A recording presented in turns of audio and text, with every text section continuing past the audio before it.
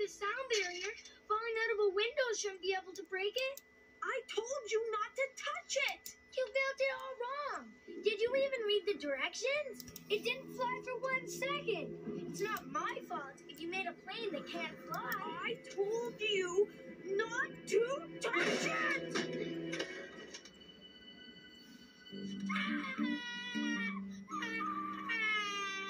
Arthur Timothy Read.